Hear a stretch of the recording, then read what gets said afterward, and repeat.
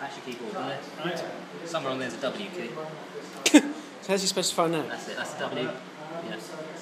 Okay. Wow.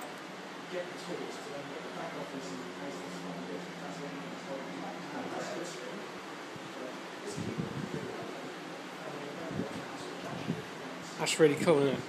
Oh, you went too close. Just ruined reality. Where's collision detection? I was going to say.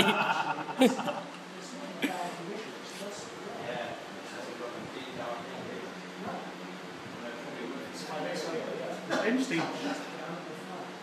It doesn't feel like the the VR technology has actually come on that much in the last sort of 15, 20 years. You've got actual It- textures now. You have, yeah. In terms of actual immersive, you know, I remember the ones where you sort of stood in a ring.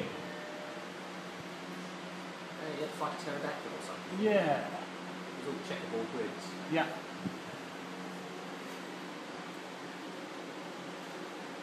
Let's go look at the scenery.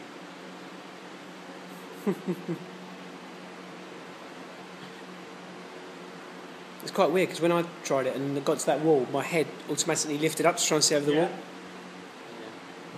That's where the translation tracking on the second version is supposed to help. Right. Right. It's only when you move your head and the image doesn't change you start feeling nauseous. Yeah. And then, um, yeah, when you walked me into that uh, light as well, then I, I ducked. I did that too It's my got- first time.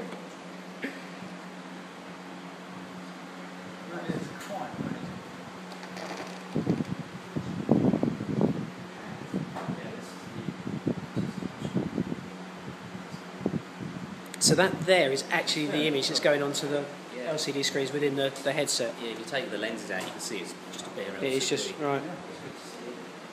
It's really cool.